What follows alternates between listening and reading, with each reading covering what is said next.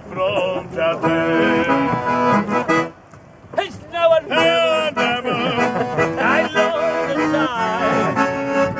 He's me my darling.